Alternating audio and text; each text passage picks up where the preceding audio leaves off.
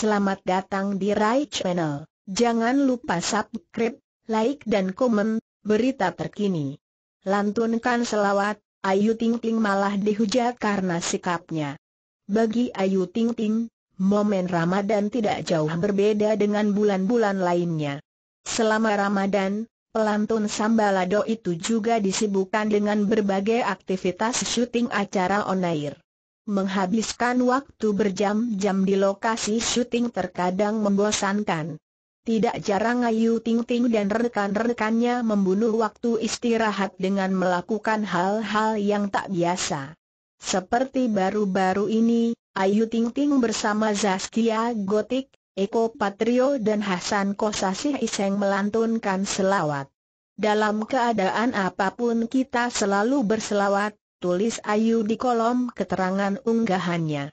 Ayu Ting Ting mengawali selawat kemudian diikuti rekan-rekannya.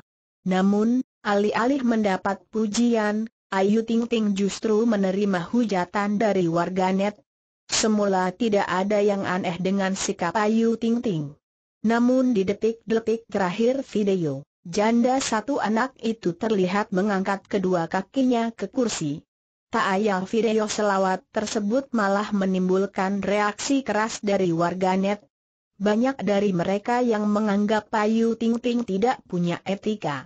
Kakinya Ayu kok gitu, kan lagi menyebut nama baginda Rasulullah, astagfirullah alazim, kayak gak pernah ngaji aja, Ujar Ana Virgo 06.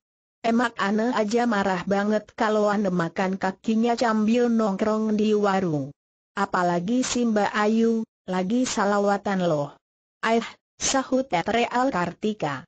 Baca solawatnya kok dengan kaki, Ayu Ting Ting, begitu ya, saya sangat kecewa sekali, Ed maksud menimpali. Terima kasih,